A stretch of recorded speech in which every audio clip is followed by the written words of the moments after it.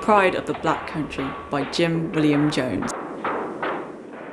Here the mighty furnace roars, the ring of iron and steel, where men are toiling day and night at mills and lay and wheels. And let us all with joyful pride remember men of old who made the black country we mow with efforts strong and bold.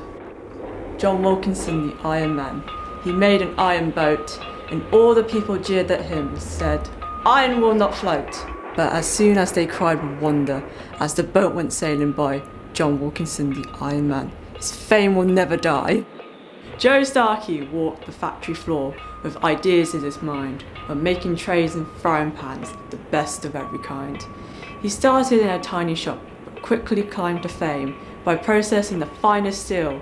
The world soon known his name.